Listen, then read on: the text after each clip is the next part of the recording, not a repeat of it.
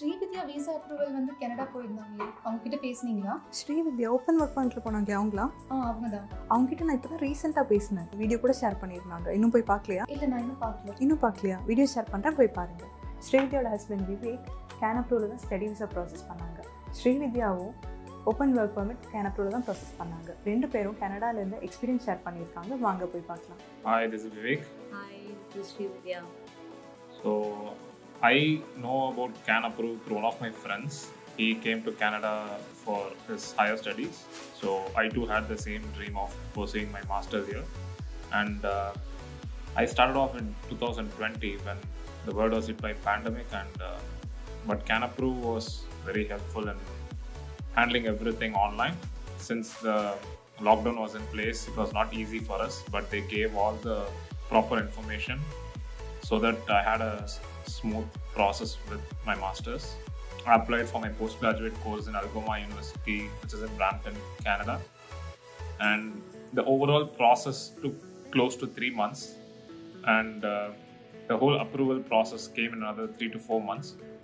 So the, the, I would say the overall process very seamless. And uh, whenever I asked for any updates about my profile, uh, they were ready to provide. And uh, I would say uh, that's something I really look forward, and that's the reason I, after I reached Canada, when I had to bring my wife here, I applied for my for her uh, open work permit through CanApprove again.